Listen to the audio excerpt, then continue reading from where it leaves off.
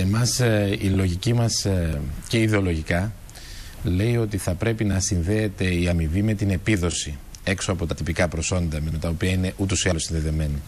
Διότι εάν η αμοιβή ή ένα κομμάτι της αμοιβής, ένα κίνητρο ας το πούμε έτσι, συνδεθεί με την αποδοτικότητα του δημόσιου τομέα, κινητροδοτεί στους δημοσίους υπαλλήλους που έχουν ικανότητες και είναι επιμελείς να δουλεύουν και να αποδίδουν γρηγορότερα τα αποτελέσματα που προσδοκάει η αγορά από αυτούς, προκειμένου να μπορούν έτσι να, ε, έχουμε, να μπορούμε να έχουμε ένα πιο λειτουργικό κράτος και την ίδια ώρα έχουμε καλύτερα οικονομικά αποτελέσματα, διότι όταν για να ιδρύσεις μια ιδιωτική επιχείρηση χρειάζεσαι ε, στην υπόλοιπη Ευρώπη, ξέρω εγώ, 48 ώρες και στην Ελλάδα χρειάζεσαι 3 μήνες, mm. αντιλαμβάνεσαι ότι αυτό έχει και ένα οικονομικό κόστος. Σε καμία περίπτωση και εμείς δεν συμφωνούμε με τις απολύσεις. Είναι ανθρωπιστική.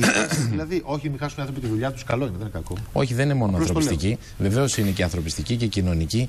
Είναι δηλαδή η εφαρμογή των αρχών της κοινωνικής δικαιοσύνης στη λειτουργία του δημόσιου βίου αλλά είναι όμως ε, το όχι και απολύτως ρεαλιστικό. Διότι αν απολύσεις κάποιους υπαλλήλους και πάλι το κράτος θα επιβαρυνθεί, διότι θα πρέπει αυτούς τους ανθρώπους να τους αποζημιώσει, να τους επιδοτεί, να τους κάνει και δεν πρέπει να μπούμε σε μια τέτοια λογική. Να ρωτήσω κάτι, Παρακολούθησα... δεν υπάρχουν κάποιοι αργόμιστοι, δεν υπάρχουν κάποιοι που δεν πατάνε στη δουλειά τους και πληρώνονται και τους ξέρουν όλοι. Αυτό που λέω, Αυτοί που λέτε... δεν πρέπει να Αυτό που λέτε συνδέεται ακριβώς με αυτό που είπα εγώ. Ναι. Αυτό που λέτε συνδέεται, δηλαδή αν συνδεθεί η αποδοτικότητα, η κινητροδότηση. Όχι στις απολύσεις, ναι στην άρση της μονιμότητας μας. Όχι, δεν λέω άρση μονιμότητας. Μην βάζετε πράγματα στο στόμα που δεν Εντάξει, εμείς θέλουμε να κάνουμε την εκπομπή τώρα. Εγώ σας λέω ότι πρέπει να κινητροδοτήσουμε τον καλό υπάλληλο να λειτουργεί γρήγορα και αποτελεσματικά. Ναι. Και θα πρέπει με αυτόν τον τρόπο ούτως ή άλλως η καθημερινή επιβεβαίωση της αξιοκρατίας να συνδέεται με την, και της απόδοσης με την αμοιβή. Εσείς λέτε λιγότερο κράτος.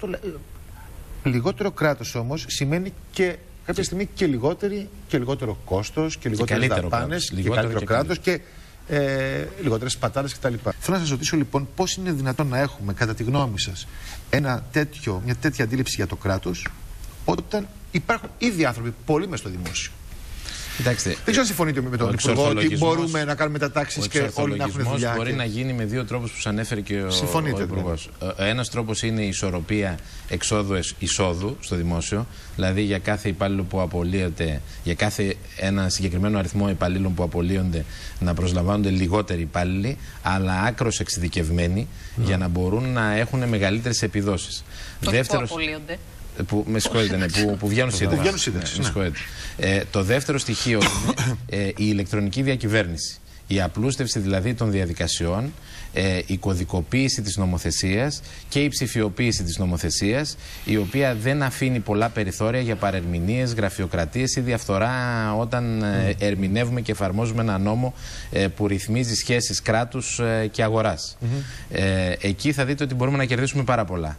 Ε, το τρίτο είναι η αξιοποίηση του δυναμικού που ήδη υπάρχει με την μετάταξή του σε ειδικότητες ε, ανάλογες σε άλλες υπηρεσίες που έχουν πραγματικά ανάγκη. Σε αυτό. Ο απαγορακτισμό των κομμάτων από το κράτος για να μην έχουμε τίτλους πέραν τώρα του αδέσμευτου τύπου υπενθυμίζοντας τις χιλιάδες ρουσφετολογικέ προσλήψεις από το Πασόκ. Ναι. Θα μπορούσα να πω εγώ από την άλλη τις ρουσφετολογικέ προσλήψεις Νέας Δημοκρατίας. Εγώ να σα πω κάτι. Αυτό δεν δαιμονοποιώ πράγμα... τα κόμματα. Δηλαδή έχουμε, έχουμε κάνει το εξής.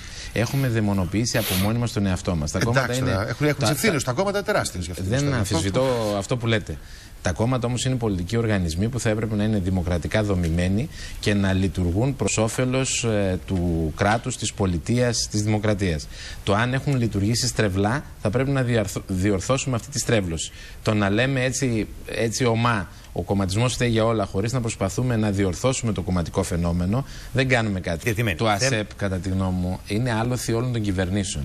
Το ΑΣΕΠ, αν είσαι, αν είσαι ε, αμαία, ε, είσαι πόντιος από την πρώην Σοβιετική Ένωση και έχεις και τρία παιδιά, μπορείς να προσληφθείς σε μια θέση. Όχι, και όταν θα πρέπει οι επιδόσεις στη συγκεκριμένη θέση να είναι συγκεκριμένες προς όφελος του συνόλου. Υπάρχει καμία θέλω να πω ότι κοινωνικά κριτήρια που σε οπλίζουν με αντικειμενικό τρόπο με μόρια για το ΑΣΕΠ συχνά λειτουργούν αντιπαραγωγικά για την ε, δημόσια υπηρεσία. Θα πρέπει να γίνεται ένας συγκερασμός και τα στοιχεία της πραγματικής αξιοκρατίας να είναι πιο ενισχυμένα στην αντικειμενική μοριοδότηση από τα κοινωνικά κριτήρια που μπορούν να καθυλώσουν μερικές φορές, αν εφαρμοστούν καθ' υπερβολή, ε, την λειτουργία της δημόσιας υπηρεσίας. Να... Έγιναν οι κρίσεις στο, στο Υπουργείο Παιδείας, για παράδειγμα, για τους διευθυντές εκπαίδευσης.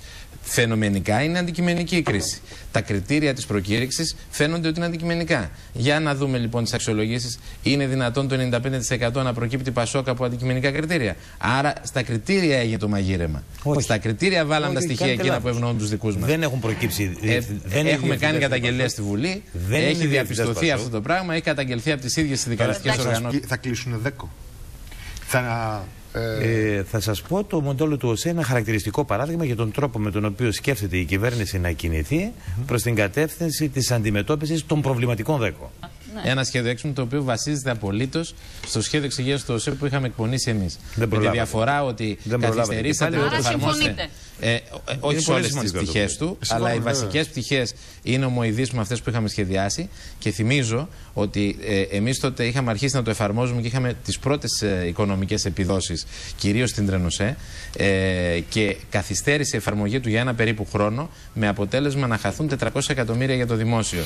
Ε, το μοντέλο του ΟΣΕ είναι ένας, ένας, ένα πιλωτικό μοντέλο. Εκεί λοιπόν είχαν ηρωνευθεί τότε από την αντιπολίτευση όταν το εισηγηθήκαμε το πρόγραμμα μισθωτής εφεδρείας που είναι κάτι το οποίο το ακούω αυτές τις μέρες να το εισηγούνται πολύ. Δηλαδή, ε, ένας υπάλληλος ο οποίος δούλευε καθ' υπερβολή μέσα σε ένα τρένο και έπαιρνε ε, έξτρα χρήματα για τα εκτός έδρας, ενώ δεν ήταν απαραίτητο, έξτρα χρήματα για υπερορίες ή για βαριά, βαρέα και ανθυγιεινά, ε, αποσύρεται σταδιακά όσο αποσύρεται και η τεχνολογία που αυτός ε, έχει μάθει να χρησιμοποιεί. ναι, ναι.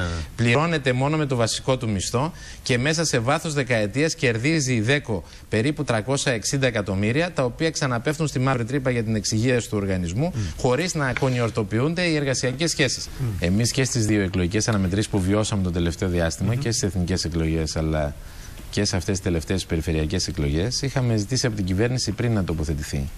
Ε, την πρώτη φορά, είναι παλιό βέβαια τώρα ακούγεται, έλεγε ότι λεφτά υπάρχουν. Και την επόμενη μέρα αποδείχθηκε ότι γνώριζε ότι δεν υπάρχουν. Τη δεύτερη φορά τώρα στις περιφερειακές εκλογές είχαμε ανοίξει το ζήτημα των ε, ενδεχόμενων απολύσεων, το ζήτημα της περικοπής επιδομάτων και μισθών ε, που, και γενικώ τις πολιτικές που μειώνουν την αγοραστική δύναμη των Ελλήνων.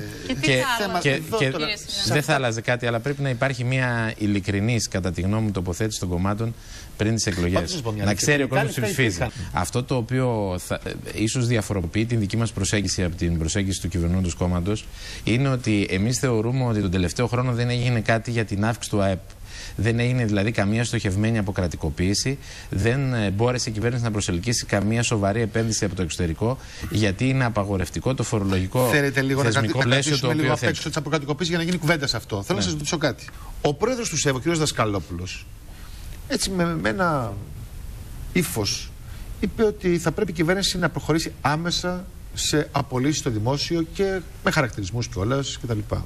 Και είναι η άποψή σας; Κοιτάξτε, θα ήταν γενναία τοποθέτηση η τοποθέτηση του Προέδρου του ΣΕΒ αν έλεγε ως εκπρόσωπος του συγκεκριμένου χώρου ότι εγώ εκφράζοντας τις ελληνικές βιομηχανίες δηλώνω ότι τα μέλη μου παρετούνται από κάθε κρατική επιχορήγηση. Το να κάνει υποδείξεις σε άλλους κλάδους και να λέει ότι η κυβέρνηση πρέπει να απολύσει τους δημοσίους υπαλλήλους που έχουν οργανώσει τη ζωή τους πάνω στα χίλια ευρώ που παίρνουν. Για φανταστείτε τώρα, μια οικογένεια τετραμελή ε, και να φεύγει ο πατέρας που είναι ο μόνος μισθός που εισέρχεται στο, στο σπίτι, στην οικιακή οικονομία, ε, στα 50 του χρόνια σε απόλυση. Πώς θα ζήσει; Θα δημιουργηθεί ένα τέτοιο μείγμα κοινωνικής έκρηξης, το οποίο δεν θα επιτρέψει την παραμικρή διαθροτική αλλαγή να προχωρήσει. Θα πεθάνουν οι Έλληνες για να ζήσει τι, το κράτος; Δεν γίνεται αυτό. Αυτό που λοιπόν, λέει όμως ο κ. Σκαλόπουλο είναι ότι δεν ασχολείσαι το ίδιο με τον ιδιωτικό τομέα. Εγώ δηλαδή, σας λέω λοιπόν ότι εγώ θεωρώ ότι σε μεγάλο ποσοστό και η αγορά λειτουργεί στρεβλά. Η αγορά λειτουργεί βάσει των κρατικών επιχορηγήσεων. Βάσει δηλαδή της εύνοια που έχει κάθε επιχείρηση από το κράτος. Και θα ήταν πραγματικά γενναία προσφορά του εκπροσώπου της αγοράς αν έβγαινε να πει ότι εμείς από σήμερα κρίνοντας ότι το κράτος μας αντιμετωπίζει πρόβλημα, παρετούμεθα από κάθε κρατική επιχορήγηση και ζητούμε τη μείωση του φορολογικού συντελεστή. Για παράδειγμα, συνένεση σε εσφαλμένες πολιτικές δεν υπάρχει περίπτωση να πάρετε. Συνένεση όμως σε δομικές πολιτικές οι οποίες μπορούν να πάνε την Ελλάδα μπροστά. Εμείς είμαστε όλοι ότι θα πρέπει να υπάρξουν αναπτυξιακά μέτρα κτλ. Να δούμε από πού, πώς κτλ. Είναι άλλο το τι θέλουμε και άλλο το τι μπορούμε. Σύμφωνα. Αρκεί να μην λέμε πριν ότι τα μπορούμε όλα, ενώ δεν τα μπορούμε.